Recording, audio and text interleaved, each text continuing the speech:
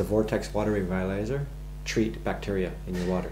Yes, it does. The implosion process restructures the water in such a way that the, it becomes a, an inhospitable environment for anaerobic bacteria such as E. coli and coliform bacteria. In fact, in lab tests, it's shown that um, the, the, these bacteria are completely eliminated from the water entirely. Right. And what about heavy metals? Can you tell me about heavy metals in water? Well, the great thing about the way the vortex works is that it has a centrifugal and centripetal effect on the actual molecules. So elements such as heavy metals that are dissolved in the water are, are, thrown to the outside and therefore separated from the water molecules and form their own microclusters.